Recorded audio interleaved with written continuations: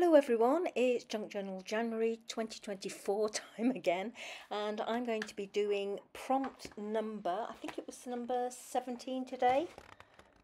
Yes, 17 and the prompt I'm doing is whimsical so I'm just showing you my background on the left hand side there that I created in the last video when I created that um, squiggle on the right which was my page for flow. So if you want to see how I create the background for this particular uh, prompt then please look at that previous video. It'll be in my playlist.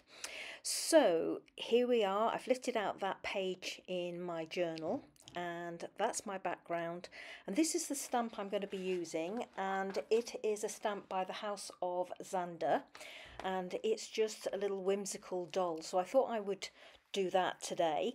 Um, my first stamping there was not a good stamp so I went in again and delivering CPR there um, to get a good impression.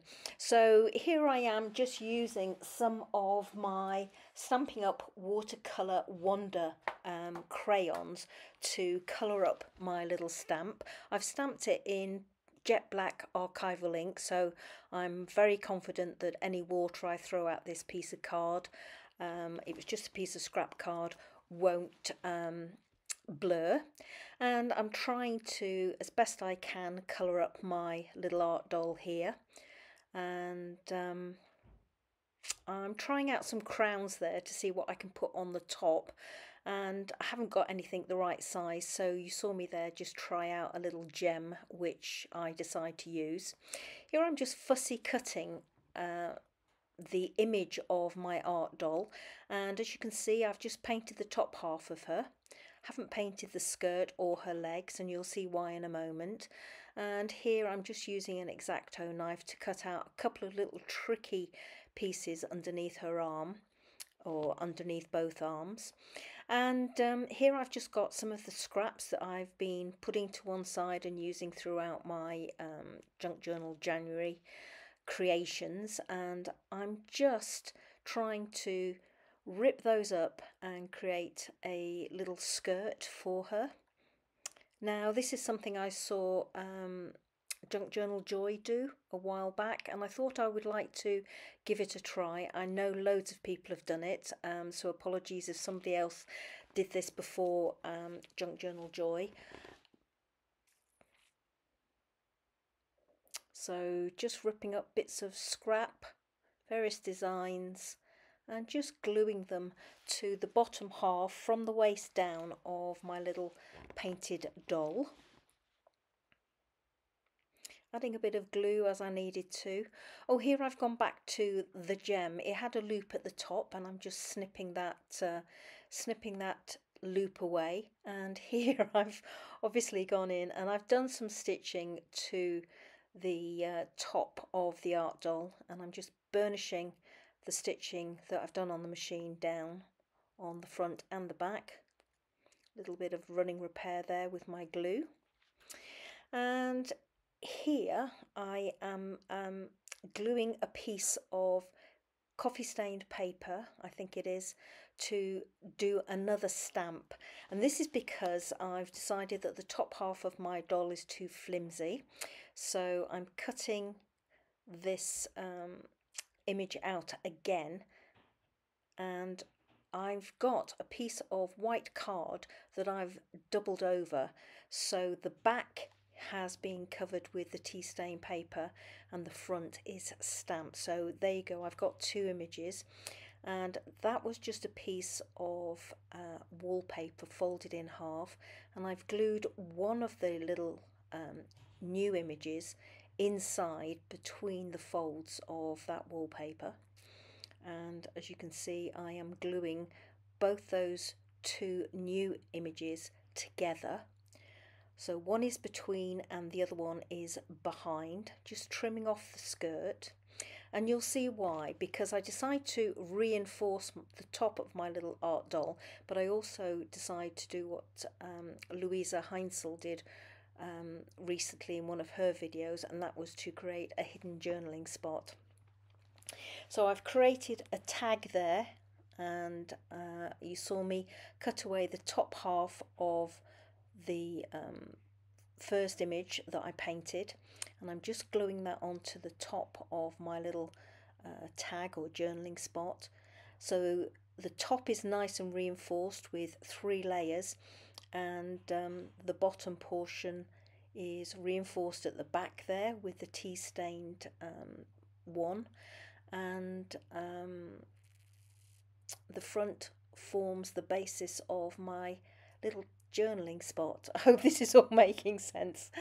So I'm just checking the length and I decide I need to trim off a little bit from the bottom and there I've got the skirt lower half of the skirt in place. I'm just checking where that little tag will go in my um, uh, in my skirt and how much room I've got on either side. And I decided to create a pocket rather than glue the skirt to the page. So here I'm just creating a little pocket for my tag to go in. Just checking how much leeway I've got on either side for gluing purposes. So here I'm gluing all three sides of the little pocket I'm creating and I'm gluing it to the back of my skirt. And as you can see it's just a scribbled um, piece of extra card. Folding down the top because obviously I need a little bit of clearance to get that tag in. Just trimming away that um, the top and just checking that that card will go in or that tag will go in nicely. So looking to see how I would like it on the page and then I'm gluing the back of the pocket that is the lower portion of the dress for my tag to go in.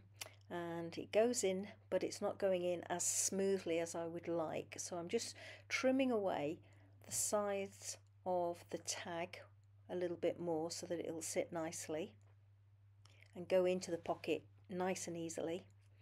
Here I've got out my glossy accents and I'm just using that to adhere that little gem to her forehead.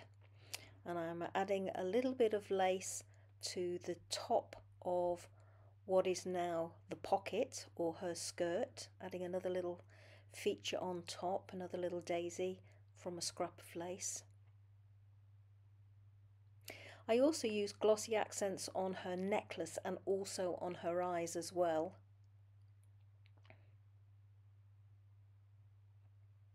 And there we go. So I decide I want something behind her to make her more whimsical. So I'm trying out some butterfly wings here. These are all transparencies. And that's the one I decide I like because I like the way the lower wings fan out over the uh, top of the dress round her waist. So that's one portion. Yep, I'm really liking that. So make the decision and I glue those two pieces in place. So that's one side and this is the other side. And that's my finished little art doll and I hope you enjoyed seeing this one come together. Um, took longer than I thought it was going to do. I thought this would be a quick hit today. Obviously decide I need a little bit more glue there to help it glue nicely or stick nicely to the back of my doll and there she is going into the pocket which is hidden away behind her skirt. And I'm hoping her hands look like they are actually holding that little piece of lace at the waist of her dress. So here I am bringing in my journal and just looking to see what my two pages look like together. Now I decide that I want to add some pieces to my um, page today that will tie it in with the opposite page and I've just added a little scrap in that top left hand corner of the paper marbled paper that I used on the right hand side and another little piece at the top.